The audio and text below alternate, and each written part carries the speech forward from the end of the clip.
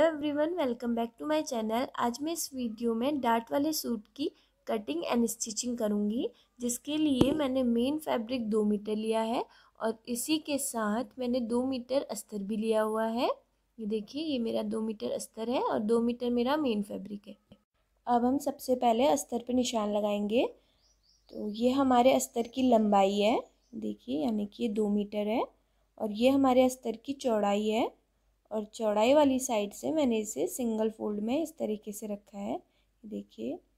और ये हमें उतना फोल्ड करना है जितना भी हमारा राउंड हिप होगा, उसका वन फोर्थ करेंगे और वन फोर्थ करके उसमें डेढ़ से दो इंच हम प्लस कर लेंगे। जैसे मेरे मेज़रमेंट में राउंड हिप है thirty six inch, thirty six का मैंने वन फोर्थ किया तो आया नाइन इंच और नाइन में मैंने टू इंच प्लस कर दिया तो आया इलेवन इंच। इलेवन इंच मैंने इसे फोल्ड किया है। अब यहाँ से हम अपनी कुर्ती का फुल लेंथ के लिए निशान लगाएँगे।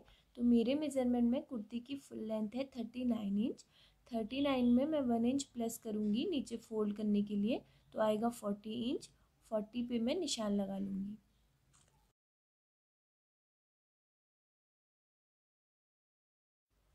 यहाँ पे हम शोल्डर के लिए निशान लगाएँगे। मेरे मेज़रमेंट में शोल्डर है ट्वेल्व इंच तो ट्वेल्व का हम हाफ़ करेंगे तो आएगा सिक्स इंच तो यहाँ पे मैं सिक्स पे निशान लगाऊँगी। और यहाँ से नीचे हम आम होल के लिए निशान लगाएँगे। तो मेरे मेज़रमेंट में आम होल है सेवन इंच तो यहाँ पे मैं सेवन पे निशान लगाऊँगी। और उसके बाद हम इस लाइन को सीधा ऊपर ज्वाइन कर लेंगे।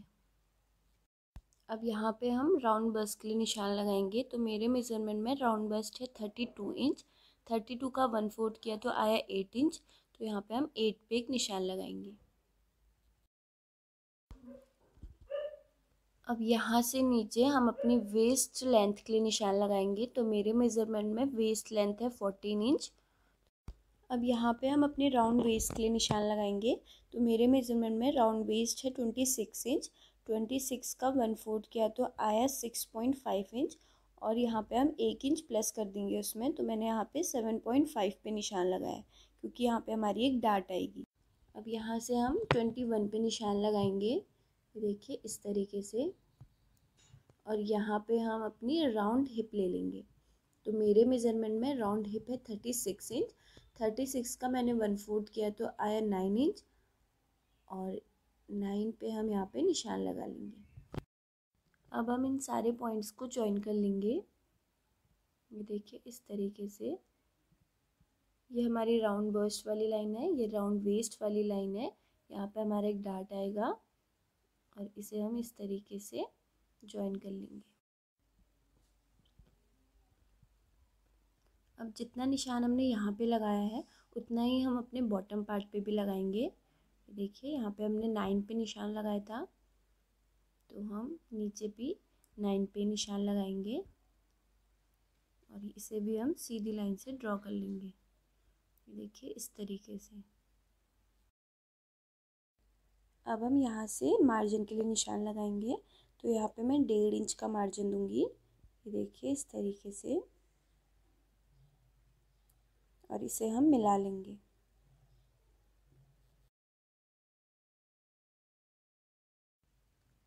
अब यहाँ पे राउंड वेस्ट वाली लाइन में यहाँ पे हम डाट के लिए निशान लगाएँगे। तो यहाँ पे मैं तीन पे निशान लगाऊँगी। और यहाँ से ऊपर मैं निशान लगाऊँगी साढ़े तीन पे। और यहाँ से नीचे भी हम साढ़े तीन पे ही एक निशान लगाएँगे डार्ट के लिए।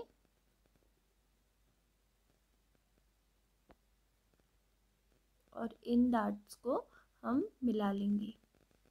देखिए, हमने इसमें एक इंच एक्स्ट्रा लिया था तो हम यहाँ पे हाफ़ इंच दोनों साइड से मार्क कर लेंगे। दोनों साइड से हाफ़ हाफ़ इंच का निशान लगा के हम इसे ऊपर लाइन से ज्वाइन कर देंगे। देखिए इस तरीके से। अब यहाँ पे मैं आम होल के लिए शेप दूँगी। सबसे पहले मैं बैक आम होल के लिए यहाँ पे शेप दूँगी तो हम इस लाइन को नाप लेंगे और इसके मिड पॉइंट पे एक निशान लगाएँगे। और यहाँ से मैं बैक आम होल के लिए शेप दे दूँगी।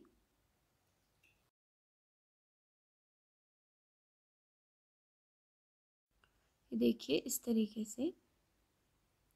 अब इसके मिड पॉइंट से हम हाफ़ इंच अंदर को एक निशान लगाएँगे और यहाँ से हम फ्रंट आर्म होल के लिए शेप दे देंगे।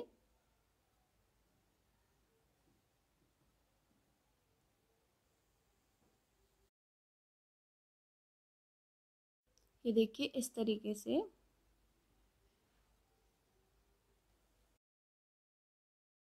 अब मैं यहाँ पे नेक विर्थ के लिए निशान लगाऊँगी, जो कि थ्री इंच पे मैं लगाऊँगी और यहाँ से डीप मैं फ्रंट के लिए लूँगी सिक्स इंच देखिए इस तरीके से सिक्स इंच पे एक निशान लगाऊँगी और यहाँ से इधर तीन पे एक निशान लगा के एक बॉक्स बना लेंगे। देखिए इस तरीके से। अब मैं यहाँ से अपने बैक नेक के लिए निशान लगाऊँगी, जो कि मैं डीप रखूँगी तो मैं यहाँ पे सेवन पे निशान लगाऊँगी। देखिए, इस तरीके से और सेवन का भी एक बॉक्स बना के इस पर हम राउंड शेप दे देंगे। दोनों नेक के लिए मैं राउंड शेप दूँगी फ्रंट और बैक दोनों के लिए। देखिए, इस तरीके से। अब मैं इसे कट कर लूँगी। देखिए, इस तरीके से। अब ये जो हमारा फ्रंट का नेक है, पहले हम इसे कट कर लेंगे। देखिए इस तरीके से। यहाँ से हम हाफ़ इंच नीचे डीप नहीं गए थे, वो भी मैं यहाँ से चले जाऊँगी और इसमें हम हाफ़ इंच का ही मार्जिन भी दे देंगे। और यहाँ से मैं पहले बैक आर्म होल को कट करूँगी। ये देखिए, इसे हमने कट कर लिया है और अब हम इसे ट्रेस कर लेंगे। ये हमारा इसमें बैक का आर्म होल कट हो गया है और फ्रंट का हमने नेक कट किया है और बैक का नेक हम उसमें ट्रेस कर लेंगे। ये देखिए इस तरीके से। देखिए इस तरीके से इसे पूरा ट्रेस कर देंगे। और इसे अब हम कट कर लेंगे। अब हम स्लीव्स के लिए निशान लगाएँगे। देखिए हमने कपड़े को एक फोल्ड में इस तरीके से रखा है। अब हम अपनी यहाँ से फुल लेंथ ले लेंगे। तो मेरे मेज़रमेंट में फुल लेंथ है सेवनटीन इंच। तो मैं एक इंच एक्स्ट्रा लूँगी नीचे से फोल्ड करने के लिए। तो एटीन पे मैंने एक निशान लगाया है और यहाँ से मैं फाइव पे निशान लगाऊँगी। और यहाँ से मैं एट पे एक निशान लगाऊँगी। कि इस तरीके से। और यहाँ से नीचे मैं थ्री पे एक निशान लगाऊँगी। और इस निशान को हम इस यहाँ पे इस तरीके से लाइन खींच लेंगे यहाँ पे। यहाँ पे हम इसे नाप लेंगे कि कितना आ रहा है और इसके तीन पार्ट में इसको डिवाइड कर लेंगे। और उसके बाद हम यहाँ पे अपने आमूल की शेप दे देंगे। फ्रंट और बैक दोनों आमूल की शेप देने के बाद इसे हम कट कर लेंगे। ये देखिए, अब हमने इसे कट कर लिया है और फ्रंट के लिए जो हमारा डीप होता है, उसे भी हम कट कर लेंगे। ये देखिए, इस तरीके से। अब हम अपने मेन फैब्रिक को और अस्तर को दोनों को एक साथ अटैच कर लेंगे। चारों ओर से इसमें सिलाई लगा देंगे। और बैक और फ्रंट दोनों पार्ट में। ये देखिए, इस पर मैंने सिलाई लगा दी है। अब इसके गले में पाइपिंग करने के लिए मैंने बायस पे एक ब्लू कलर की पट्टी कट की हुई है। ये देखिए, इस तरीके की। और इसे हम एक फोल्ड इस तरीके से करेंगे। और इस पर हम साइड से सिलाई लगा देंगे। ये देखिए इस तरीके से। अब हम अपनी कुर्ती की राइट साइड में इस पट्टी को इस तरीके से रखेंगे। देखिए, और इस पे हम एक सिलाई लगा देंगे। अब ये देखिए, इस पे सिलाई लगाने के बाद इसमें हम इस तरीके से कट लगाएँगे। ये देखिए, इस तरीके से, और अब हम इसे रॉन्ग साइड की ओर को फोल्ड कर लेंगे। ये देखिए, इस तरीके से। हमने इसे थोड़ा थोड़ा अंदर को फोल्ड किया है। ये देखिए, इसमें हमने सिलाई लगा दी है फोल्ड करके अंदर को और रॉन्ग साइड की ओर हम इसमें हेमिंग कर लेंगे। ये देखिए, इसी तरीके से मैंने बैक पार्ट में भी पाइपिंग कर दी है। अब जो हमारी सूट में डार्ट है, इन डार्ट को हम डार्क कर लेंगे और दूसरी साइड भी हम इसे ट्रेस कर लेंगे। ये देखिए, इस तरीके से। अब डार्ट देने के लिए जो हमने बीच में एक लाइन खींची है, इस लाइन को हम इस तरीके से पकड़ के इसमें हम इस तरीके से इसमें एक सिलाई लगाएँगे।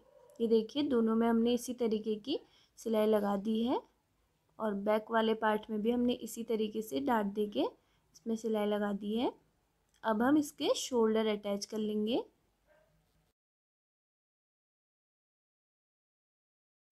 ये देखिए, इसके मैंने शोल्डर अटैच कर दिए हैं और अब मैं इसमें साइड की फिटिंग के निशान लगा के इसमें भी एक सिलाई लगा दूँगी। अब जो हमारी सूट की साइड है, यहाँ पे भी हम पाइपिंग करेंगे। उसके लिए जो हमारी रॉन्ग साइड है, हम रॉन्ग साइड से अपनी पट्टी को एक फोल्ड करके रखेंगे। देखिए, मैं आपको दिखाती हूँ। इस तरीके से रॉन्ग साइड की ओर हम अपनी पट्टी को एक फोल्ड करके इस पर एक सिलाई लगा देंगे। देखिए, बिल्कुल कॉर्नर पे इसे हम इस तरीके से रखेंगे और यहाँ पे एक सिलाई लगा देंगे। ये देखिए, इस पर मैंने सिलाई लगा दी है। फ्रंट और बैक दोनों साइड से हमने इस पर सिलाई लगा दी है। ये देखिए, अब इसमें हम पाइपिंग बनाएँगे। अब साइड से हमें जितना भी अंदर को फोल्ड करना है, उतने पे हम निशान लगाएँगे नीचे भी। ये देखिए, डेढ़ इंच पे मैं यहाँ से निशान लगाऊँगी। और इन पॉइंट्स को मैं ज्वाइन कर लूँगी। देखिए, इस तरीके से यहाँ पे एक लाइन में खींच लूँगी। ये निशान जो हमने लगाया है, ये कुर्ती की राइट साइड पे लगाया है। तो हम ये राइट साइड पे निशान लगाएँगे और जो हमने साइड से पट्टी लगाई थी, इस पट्टी को हम इस तरीके से ओपन कर लेंगे। और उसके बाद हम इसे एक फोल्ड ऐसे करेंगे और एक फोल्ड हम इसे ऐसे और कर लेंगे। जो हमने लाइन ड्रॉ करी थी, हम उसके ऊपर ही अपनी पट्टी को रखेंगे और जितनी भी हमें पाइपिंग बाहर को निकालनी है, उतनी पे हम निकालेंगे और इस पे हम एक सिलाई रख देंगे। देखिए, इस तरीके से, इस तरीके से फोल्ड करके ऊपर से हम इसमें सिलाई रख देंगे। ये देखिए, इस तरीके से इस पर हमने पाइपिंग लगा दी है। देखिए, और जो हमारी रॉन्ग साइड है, यहाँ पे हम इसमें तुरपन कर लेंगे दोनों साइड से। देखिए, हमने इस पर पाइपिंग लगा दी है और रॉन्ग साइड को जो हमने फोल्ड किया है, उसमें हम हेमिंग कर लेंगे। ये देखिए, इस पर मैंने दोनों साइड से पाइपिंग कर दी है और इसी तरीके से मैंने इसके स्लीव्स में भी पाइपिंग कर दी है। ये देखिए, इस तरीके से अब इसको हम अपनी कुर्ती में अटैच कर लेंगे और नीचे से भी हम अपनी कुर्ती को डबल फोल्ड करके हेमिंग कर लेंगे।